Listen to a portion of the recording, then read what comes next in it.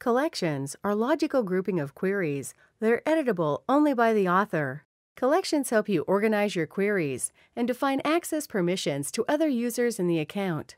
By default, all the other users in the account have read-only permission to the collections you have created.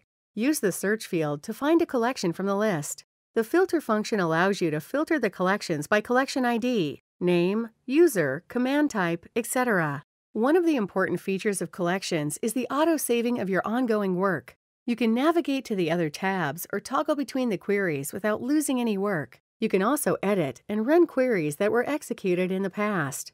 Collections also allow you to run fragments of the query. Just select the part of the query you would like to execute and click the Run button. This helps you run the queries iteratively. Furthermore, you can automatically curate your queries and collections. As you run the collection iteratively, all the runs are cataloged in the collection panel. This helps you organize your work and track the previous runs to the parent collection. You can also move the queries from one collection to the other manually.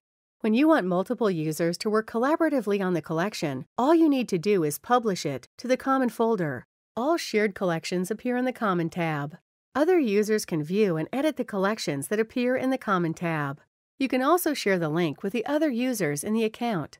Click the Copy Permalink icon to generate a link, and you can share it with other users.